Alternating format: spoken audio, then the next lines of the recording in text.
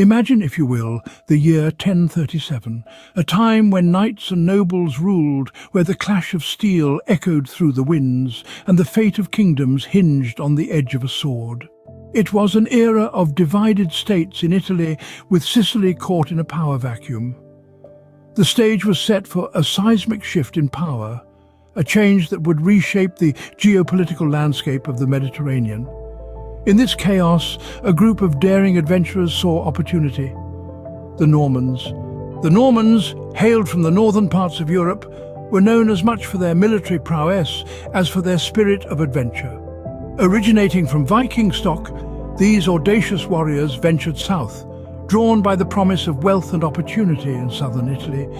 Initially serving as mere mercenaries, their roles rapidly evolved, their influence grew, and their ambitions soared. With their military might and adventurous spirit, they rooted themselves into the power structure of the region. And so, the stage was set for one of history's most fascinating conquests. With their eyes set on the prize, the Normans began their audacious conquest of Sicily.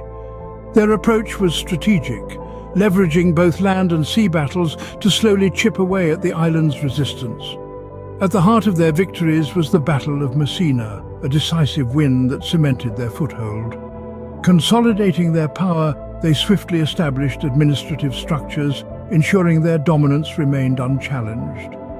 By 1091, the Normans had achieved the unthinkable. Sicily was theirs. The Norman conquest of Sicily wasn't just a shift in power, it was the dawn of a new era. The island was transformed, with the Normans leaving an indelible imprint on its architecture, governance and culture. Grand cathedrals rose, inspired by Norman design. Politically, a unique blend of Norman, Byzantine and Arab elements formed a governance style that stood out in the Middle Ages. Culturally, the Normans fostered an environment of coexistence.